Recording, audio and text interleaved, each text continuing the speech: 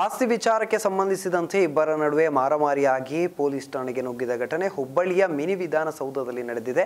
ಹನುಮಂತಪ್ಪ ನೀಲಿ ಎಂಬಾತನ ಮೇಲೆ ಮಹೇಶಗೌಡ ಪಾಟೀಲ್ ಹಾಗೂ ಸಹೋದರ ಮಿನಿ ಸೌ ವಿಧಾನಸೌಧಕ್ಕೆ ಏಕಾಏಕಿ ನುಗ್ಗಿ ಹಲ್ಲೆ ಮಾಡಿದ್ದಾರೆ. ಹಲ್ಲೆಗೊಳಗಾದಂತಹ ಹನುಮಂತಪ್ಪ ನೀಲಿ ಪಕ್ಕದಲ್ಲಿದ್ದ ಉಪನಗರ ಪೊಲೀಸ್ ಠಾಣೆಗೆ ಓಡಿ ಹೋಗಿದ್ದಾನೆ. ಪೊಲೀಸ್ ಠಾಣೆಗೆ ಹೋದರೂ ಕೂಡ ಹೊಡೆದಾಡಿಕೊಂಡಿದ್ದಾರೆ. ಕೂಡಲೇ ಪೊಲೀಸರು ಜಗಳವನ್ನು ಬಿಡಿಸಿ ವಿಚಾರಣೆ ನಡೆಸಿದ್ದಾರೆ. ಮಿನಿ ವಿಧಾನಸೌಧದಲ್ಲಿ ಹೊಡೆದಾಡಿದಂತಹ ದೃಶ್ಯ ವೈರಲ್ ಆಗಿದ್ದು ನಗರ ನಿವಾಸಿಗಳು ಆತಂಕಗೊಂಡಿದ್ದಾರೆ.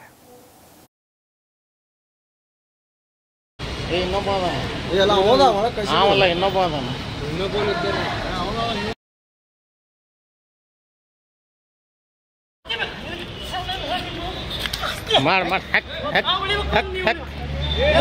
ಓಡು ಓಡು ಓಡು ಓಡು ಓಡು ಓಡು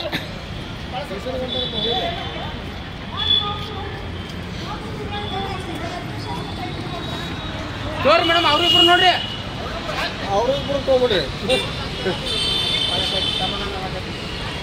ಏ ಇನ್ನೊಬ್ಬ ಅದಾನ ಎಲ್ಲ ಹೋದ ಒಳಗೆ ಕಳ್ಸಿ ಅವಲ್ಲ ಇನ್ನೊಬ್ಬ ಅದಾನ